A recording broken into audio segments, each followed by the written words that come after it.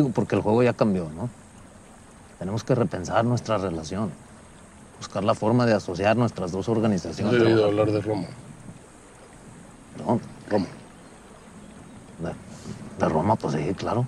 el imperio más grandioso que ha creado la humanidad. Más luminoso. Aquí tenían los romanos, los bárbaros de Alemania, de Inglaterra, de Francia.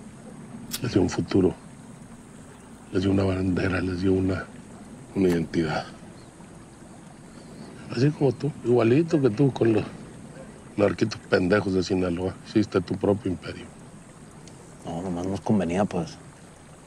Había que jalar parejo. Pero eso es una sociedad.